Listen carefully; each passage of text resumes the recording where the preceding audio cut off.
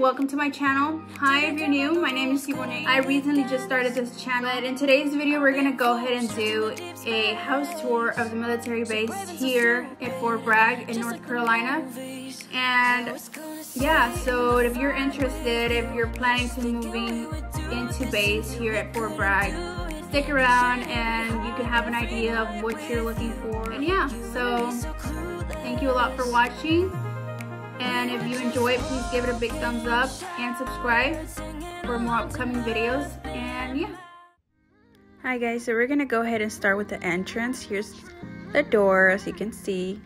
And then these stairs lead all the way up, obviously, to three bedrooms and two baths. One being the guest room and the other one being the master room.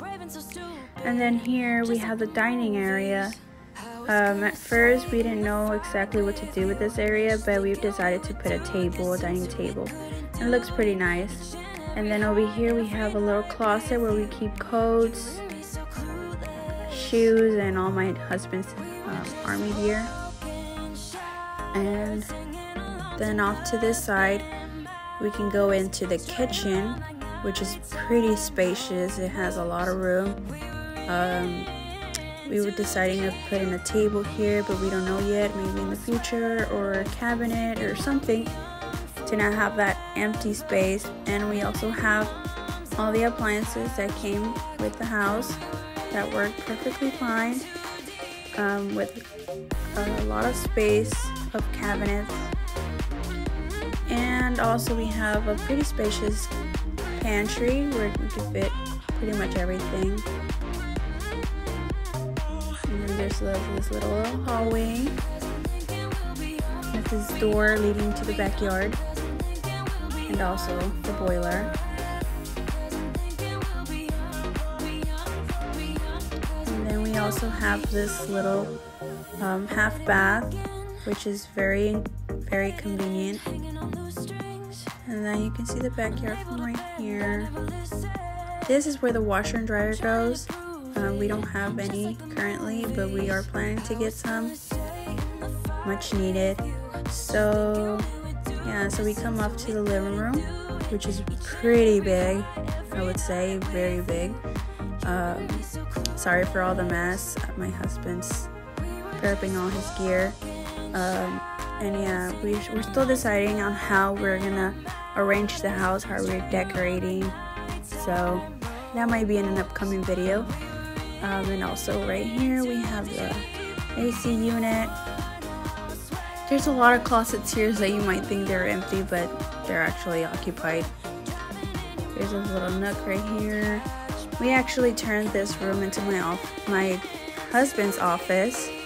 Um, we were planning to turn this into a guest room, but it's a perfect size for an office, so and my husband needed one, so we decided to do that and also this door also leads to the backyard which is awesome.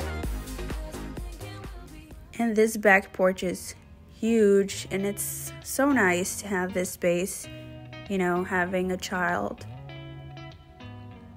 So we can grill out here we can have guests come you know when this pandemic is over.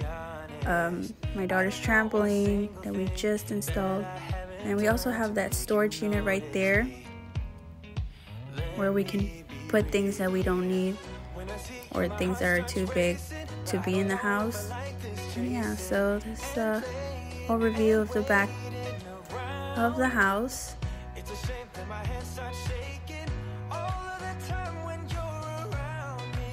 And so we're gonna go ahead and go upstairs and the first thing you see is the guest bathroom which is my daughter's bathroom. Um, it's pretty big. I like it. It has a full-on bath where she can take bath. Pretty nice. Pretty big, spacious closet. And I love this hallway. I love how long it is. And then we go off to the guest bedroom which is pretty big. We were gonna turn this into my daughter's room, but she wanted to be closer to us, and I think it was the best thing to do. here's a little closet and there's also another closet which is way bigger than that one I would say longer where we keep pretty much everything that we don't use um, eventually we will put a queen size bed here or full bed for our guests or he'll get into things. Oh my goodness.